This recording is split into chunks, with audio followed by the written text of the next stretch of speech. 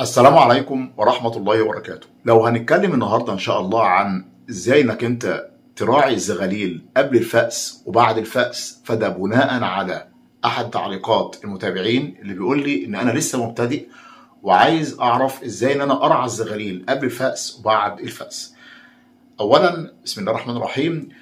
قبل الفأس يا جماعة بخمس أيام وده لازم إن أنت تكون حاسب ميعاد البيض كويس أول بيضة العصافير بيضوها إمتى؟ هتقدر إن أنت قبل الفأس بخمس أيام من أول بيضة يعني هتبدأ إنك أنت تحط في المية خمس نقط فلاجيل لمدة خمس أيام وإنك تغير المية دي كل يوم وتستمر على كده قبل الفأس بخمس أيام وبعد الفأس بخمس أيام. ولو في أي مطهر معوي غير الفلاجيل مفيش مشاكل بشري عادي بجيبه من الصيدلية البشري. بيكون شراب هو للأطفال طيب بعد الفأس بقى بعد ما ال- البيض بدأ إن هو يفقس أول حاجة إن أنت هتعملها إنك لازم تزود كمية الأكل اللي بتقدمها لعصافيرك. يعني مثلا لو أنت بتحط بلقة مفلارس فأنت هنا بدل ما كنت بتحط مثلا معلقتين كبار هتحط ثلاث معالق أربع معالق ليه؟ لازم يكون الأكل دايما قدام الأهالي ما ينفعش ابدا في الفترة دي إنك تجوع الأهالي ابدا. لازم لو أنت بتغيب عن البيت فترة طويلة فلازم تكون أنت موفر لهم الأكل لغاية ما ترجع تاني البيت.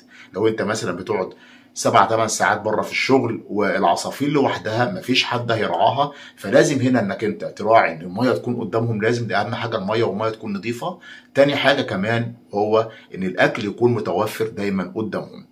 كمان مهم قوي قوي في الفترة ديت البيض البيض المسلوق ده مهم جدا في الفترة ديت وأنا بديلي الزغاليل عندي على طول يعني يوم ويوم يوم ويوم بتعمل لهم البيض المسلوق لو أنت جبت البضاية وسلقتها. كويس أهم حاجة البيضة تكون مسلوقة كويس جدا ما تكونش نص سوا علشان خاطر ما تبقاش معجنة وفي نفس الوقت العصافير آه، ما يجيلهاش إسهال ما يحصلش منك أي انتكاسة لازم البيض يكون مسلوق كويس جدا. وبعد ما تهرس البيض ممكن تقدمه عادي خالص من غير بقسماط ولا حاجة. أنا بقدمه للعصافير من غير ما أحط عليه أي خلطه خضار علشان خاطر ما يبقاش صعب الهضم على الزغاليل الصغيرة. طبعا هنا الأهالي بياكلوا الأكل دوت وبيقعد عندهم شوية كده بس في الحويصلة لغاية ما يبدأ إن هو يتهضم. بعد كده هي بتبدأ إن هي تزق الزغاليل من الأكل اللي هي كلته. طيب بيفضل في الفترة ديت إنك دايما تحط لهم المنقوع. وأنا طبعا بستخدم دايما هنا عند المنقوع اللي هو القمح المنقوع والذرة العويجة المنقوعة. ده لازم يكون على طول دايما وكل يوم. وتحط لهم الكلام ده مرتين في اليوم. مهم جدا هيبقى سهل قوي إن هي تزق الزغاليل. هيبقى سهل على الزغاليل إن هي تهضم الأكل ده بسرعة وبسم الله ما شاء الله بيكبر الزغاليل بسرعة. يبقى أنت بتهتم بالبيض بتهتم بالم- بالمنقوع تهتم بالمية والفلاجيل قبل وبعد الفأس. كمان مهم قوي في الفترة دي يا جماعة إنك أنت بالليل لازم تحط لهم لمضه سهراية. بنقول يعني لمضه تكون نور خافت ما يكونش نور عالي. بالليل. ليه؟ علشان خاطر الزغاليل أول ما بتفقس من البيض ب- بتزق كل ساعتين. كل ساعتين الأمهات أو الأهالي بي- بيعملوا إيه؟ بي- بيزقوا الزغاليل. يعني إيه بيزقوا ديت؟ يزقوا دي معناها يعني إيه بلغة الهواة. عندنا اللي هو اللي هو رضاعه الزغاليل بيرضعوهم. فطبعا الطيور ما بترضعش. الطيور بتزق الزغاليل زي الحمام كده. فطبعا كل ساعتين يزقوهم فما ينفعش يكون في الضلمة.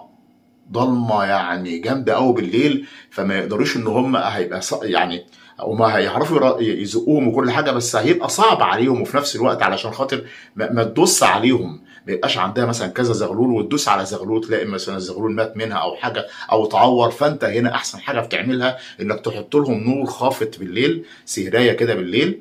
آه نور مش شديد تمام؟ علشان خاطر يشوفوا الزغاليل ويبدأوا إن هم يزقوهم.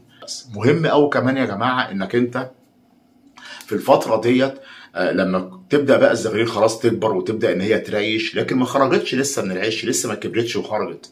فأنت هنا ما تديش أي مخصبات للذكر. ما ينفعش هنا إن أنت تديله زنجبيل وتديله سيلينيوم والكلام ده كله. لا خالص. ممكن تحط الفيتامينات عادي الفيتامين دوت هيساعد جدا كمان لل... لل... لل... للطيور وللزغاليل. آه بعد ما أنت بتحط بتخلص موضوع ال Flagyl بقى في المية وكده وخلاص آه بتبدأ إن أنت تحط له مية عادية خالص مده 3 4 أيام. بعد كده بتحط في المية آه خمس نقط من الفيتاماونت ثواني كده أجيب لحضراتكم الفيتاماونت أهو.